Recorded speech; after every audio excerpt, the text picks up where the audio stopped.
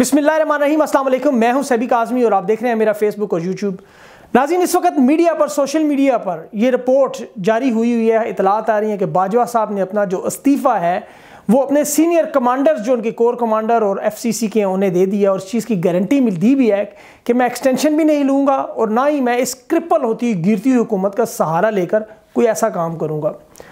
वैसे हर तरफ़ खामोशी है, इसकी वजह बनती है। देखें कि जब भी ये बड़ी मीटिंग्स होती हैं तो ये इन्फॉर्मेशन कहाँ से लीक आउट होती है? ये बड़ा मुश्किल है, लेकिन इसका एक पैटर्न आपको समझना पड़ेगा।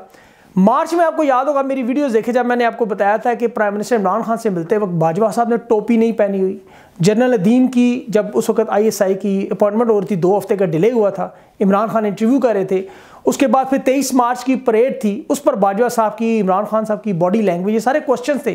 तो बहुत से लोगों ने कहा, ये ऐसा हो नहीं सकता, बड़ा मुश्किल है। लेकिन हम सिमिलर सिचुएशन पैटर्न देखते हैं। पुराने आर्मी चीफ्स का या नवाज़ साहब के साथ जो मसाइल थे, पाँच आर्मी चीफ चीफ थे उनके साथ। वो फुटेजेस देखें, तस्वीर देखें और एनालाइज करें सारी सूरत हाल को जो आज की है। तो सारा मामला आपके सामने साफ़ हो जाएगा। और मैं ये क्यों कह रहा हूँ, उसकी मैं आपको बुनियाद बताता हूँ।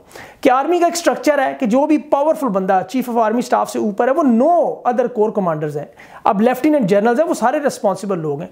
कोर कमांडर्स की मीटिंग भी जो बार बार मुलतवी हो रही है, वो भी एक बहुत बड़ा इशारा है। फिर उसके अलावा जो आर्मी चीफ की जो इंटेंशन है कि मैं आगे नहीं अपनी प्रमोशन के लिए काम करूँगा या तरक्की या तबादले, किसी में भी दखल अंदाजी करूँगा। देखें, चार जर्नेलों को सुपर सीट करके बनाया गया। ये सिर्फ़ यहाँ से नहीं, इमरान सॉरी जयाल हक के दौर से लेकर अब तक। तो पिछले जो अगले सारे तरक्की वाले लोग फिर इस्तीफे देते हैं, आर्मी में एक नया एक मसला बनता है।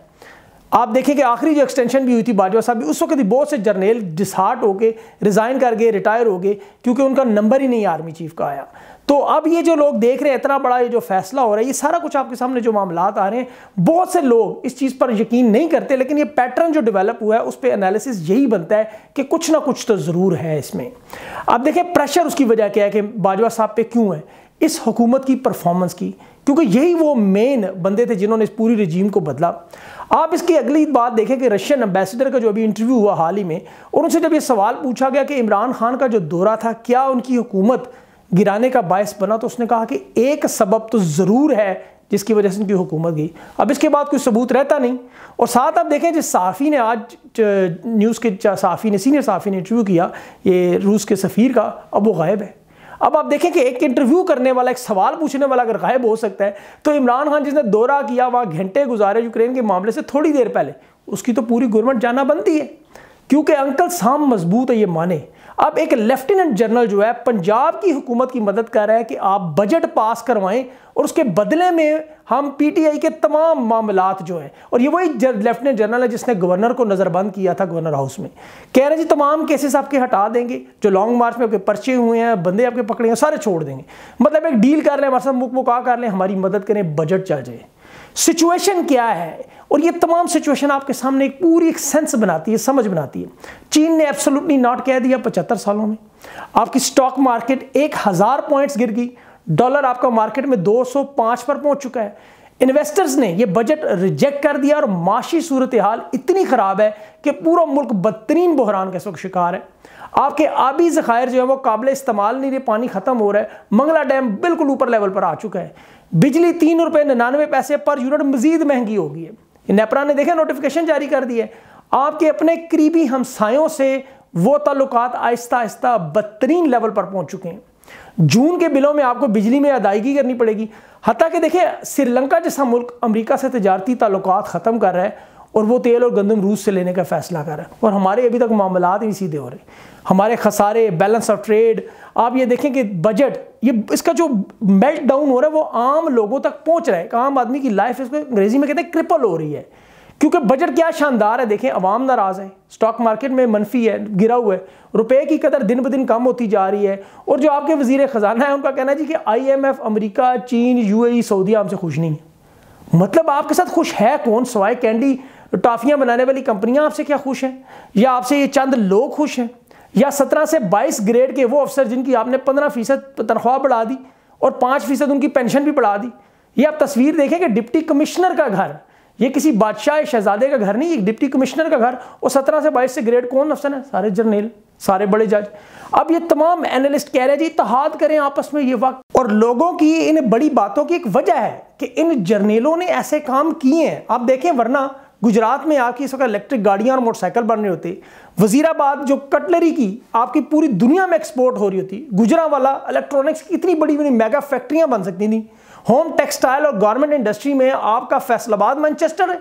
सियालकोट में आपके देखें सर्जिकल स्पोर्ट्स गुड चावल, आप नाम लें कोई भी पाकिस्तान की कराची, आपका दुबई, सिंगापुर और हांगकॉन्ग से किसी सूरत में कम है, किसी सूरत में बताएँ। लेकिन हुआ क्या कि जर्नेलों ने तमाम वसाइल कंट्रोल में रखे। उन्होंने वसाइल बढ़ाने की बजाय उन्हें काबू करना ज़्यादा समझा। तो मसाइल ज़्यादा बढ़ गए अब वो करना सब कुछ खुद चाहते थे। पॉलिसी उनके पास थी नहीं। जिस तरह अभी वो ले आए, इस तरह की हुकूमत, ना कोई तैयारी, ना कुछ। अवाम के मुँह से अब क्या हो रहा है? नवाला छिन जा रहा, ख़त्म हो रहा है सारा। अब इन सबने हमें ये यकीन दिलाया कि जी, जंग वाली सूरत हाल है। खाना जंगी है। हमें नए नए मिज़ाइल बनाने हैं। नए नए हमें अपने दिफा के लिए इक्विपमेंट्स बनाने हैं। उन्हें लॉन्च करना है। और हमें बेचते क्या यार डर। इस डर की वजह से कोई हमसे हमला कर देगा, हमें तकसीम कर देगा, हमें कोई इराक बना देगा, लिबिया बना देगा, सीरिया बना देगा। लेकिन उन्होंने ये कभी नहीं कहा कि हम लोग जर्मनी भी बन सकते हैं। क्योंकि आप याद करें कि इन आर्मी की मुदाखलत से पहले हमेशा पाकिस्तान ने जर्मनी को कर्जा दिया। अब हालत अब ये है कि आप टेस्ट रोज करते हैं, रोज तजर्बे करते हैं। कभी आपने गंदम पे तजर्बा किया, किस तरह पैदावार बढ़े? कभी आपने चावल बढ़ाने का सोचा? कभी दवाइयाँ बढ़ाने का सोचा? कभी आपने रिसर्च एंड डेवलपमेंट पे लगाया? कभी आपने जेएफ थंडर तो आपने खरीद लिए, लेकिन कुत्ते के काटने की वैक्सीन आपके पास मौजूद नहीं है, क्योंकि उसमें कमीशन और किकबैक्स नहीं है। आपने देखे ना अस्करी घी बना लिया, आपने फौजी फर्टिलाइज़र बना लिया, आपने अस्करी सीमेंट बना लिए अस्करी बैंक बना लिए तो आप कुत्ते के काटने की दवाई नहीं बना सके।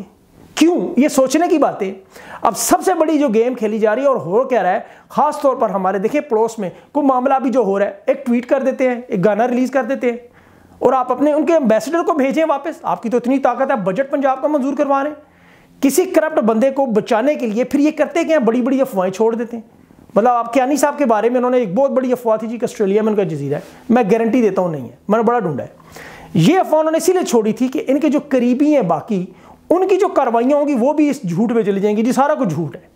हालाँकि इनका देखें, जो इन्होंने बड़ी बड़ी वारदातें की हुई हैं, उनमें सिर्फ़ एक का मैं ज़िक्र करता हूँ, बाकी आप जो है वो खुद समझ लें। गार्डियन अखबार से आप बाकी जो है ना वो मज़ीद पढ़ें। 2012 में आशियाना इकबाल लाहौर हाउसिंग जो स्कीम थी, उसका टेंडर दिया जा रहा था। उसमें बहुत सी कंपनियाँ, आपको पता है, टेंडर के लिए कोशिश करती हैं। फॉर्म लेती हैं, सारा फिर उसके बाद जब वो पूरा एक प्रोसेस होता है, वो कंपनी होके उसके बाद कंपनियों को शॉर्ट लिस्ट किया जाता है। एक थी चौधरी लतीफ़ एंड सन्स की और दूसरी थी कॉनप्रो अब ये दो कंपनियाँ आती हैं एंड में तो जो कुरा फॉल है, वो चौधरी लतीफ़ एंड सन्स के नाम निकलता है और टेंडर जो है, उन्हें मिल गया। अब ये उस वक्त की बात है, याद रखें जब 2013 से इलेक्शन शुरू होने थे, निगरान हुकूमत आई और उसके बाद उसका प्रोसेस वर्क जो है, वो रोक दिया जाता है। इस नई हुकूमत के बनने के बाद काम शुरू होगा। अब जो ही नई हुकूमत बनती है, वज़ीर अला साहब एक एतराज़ लगा के आशियाना इकबाल हाउसिंग स्कीम का tender Chaudhry Latif and son से कैंसिल करके ये कॉनप्रो को दे देते हैं। ये 2013 के इलेक्शन की बात कर अभी सुनिएगा अगला भी। चौदह अरब मालियत का ये प्रोजेक्ट था, उसके छः हज़ार मुतासरीन आज भी बेचारे इंसाफ के मुंतजर हैं।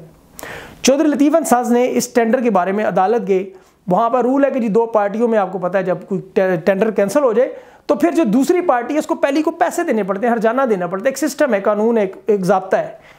वज़ीर अला की टीम जो कि शहबाज शरीफ थे, लतीफ़ एंड सन्स के साथ उन्होंने सेटलमेंट की, उनको हरजाना दे दिया और ठेका मिल गया। अब इस कंपनी का मालिक, उसका अज़ीज़, वो कौन था? यह ठेका कैंसिल करके इस कंपनी को ठेका क्यों दिया गया? इसका कनेक्शन इस देखें आप 2013 के इलेक्शन के साथ जोड़े, आपको सारी गेम समझ आएगी। दो ब्यूरोक्रेट इसमें जो शामिल थे, वो बाद में क्या हुआ, उन्हें जेल भेज दी गई और मजाल है कि उनमें से किसी एक को सजा हो सके को फर्द जुर्म लगे। नैब ने जो तहकीकत की उसमें कहा जी कि एक ब्यूरोक्रेट के जो भाई है और भाभी हैं, उनके अकाउंट में पाँच करोड़ के चेक जमा करवाए गए हैं इस्लामाबाद में। वहाँ पर एक माल है, तीस करोड़ की वहाँ की इन्वेस्टमेंट भी है। अब ये सारा कुछ इस तरह नहीं हुआ कि फिर वो नवाशी साहब को गुस्सा इसीलिए था, जब वो बाहर आके लोगों से पूछा करते थे, मुझे क्यों निकाला? मेरा क्या उनका मकसद ये था, सिर्फ़ मुझे क्यों निकाला? बाकी सारे भी मेरे साथ इनको भी निकाले। ये केस नैब के जब रडार में आया तो वहाँ उस कंपनी के मालिक को पाकिस्तान से निकाल दिया गया। अब हुआ क्या? अब आप उसकी हिस्ट्री सर्च करेंगे तो फिर आपके साथ वैसे ही, खैर छोड़े, मैं तो कर सकता हूँ, आप नहीं कर सकते। ये 2023 में भी वही गेम करने जा रहे हैं। नई पार्टी इन्होंने लॉन्च करवानी है पीटीआई एन के नाम से रजिस्टर्ड करवाई है, ताकि इमरान खान के इलेक्शन 2023 को सबोताज करें, ख़राब करें, क्योंकि इमरान खान का मुकाबला इलेक्शन कमीशन ऑफ़ पाकिस्तान से और न्यूट्रल से है। अगर वो नवंबर के बाद सेम रहे, याद रखिएगा वोटर लिस्ट हल्का बंदी, जितनी भी हो M P M N A C खरीदो, फरोख्त, ये सारा एक तरफ़। इमरान खान को दो तिहाई अक्सरियत लाना ये लोग नहीं देंगे। लेकिन इमरान खान लाएगा बड़े अतमाद से और ये न्यूट्रल पूरी कोशिश करेंगे, अगर नवंबर के बाद मामला बदल जाएँगे। अच्छा इमरान खान की पॉपुलैरिटी आर्मी ऑफिसर्स में, जवानों में, रैंक के अफसरों में बहुत ज़्यादा है। ये तो सिर्फ़ एक शख्स की ईगो है, जो अपने दोस्तों के साथ और पैसे बनाने की स्कीमें और सारा माल है। क्योंकि इमरान खान है आपको पता है ब्रूटली ऑनेस्ट बंद है। और इसीलिए वो सारे जानते हैं और सारे फौजी इसीलिए उसकी इज़्ज़त भी करते हैं। अब ये दोस्तों में, पड़ोसियों में ड्राइंग रूम में ये जो बातें हो रही हैं, उनकी वो मैं आपको बता रहा हूँ। ये नवाज़ शीह साहब और आसिफ जरदारी से सख्त तरीन नफरत करते हैं ये जवान। पूछ लें आप किसी से भी, अपने किसी अजीज़ों कारब से, अपने दोस्त अहबाब से जो फौज में से पूछ लें। ना आए तो आप मुझे पूछ लें। अब इमरान खान ने जो कैंडिडेट अभी अनाउंस किए हैं पंजाब के इलेक्शन में, देखें, इनमें भी अब कुछ ऐसे कैंडिडेट्स के बारे में कहा, जी तीन सौ चार सौ वोट ले रहे हैं। इमरान खान ने उन्हें अनाउंस किया, वो डेरे पर बुलाएँगे। अगर उन्होंने आम आवाम की बजाय खुशामदियों से पकड़े रखा और न्यूट्रल्स पे उन्होंने इशार करने की कोशिश की M N M P S ने अगर गेम करने की कोशिश की, साढ़े तीन साल जिस तरह वो देखें, आम लोगों से हालात पूछते रहे, काम करते रहे मार्केट में आम दुकानदारों से मिलते रहे, उनके मसाइल जो कि छोटे मोटे मसाइल हैं, जो कभी कभी एक फ़ोन पर मसला हल हो जाता है। तो ये हो जाएगा, वरना इमरान खान की तस्वीर पर और बल्ले के निशान पर ये लोग जीत तो जाएँगे लेकिन अगर इनके रवैये ना बदले तो कल को फिर ये दोबारा ये भी सड़क पर आ सकते हैं। देखिए, कोई एक वक्त था जब माजी में ये M N M P S बड़े होते थे, इनके डेरों पर मतलब लोग जाते हुए डरते थे।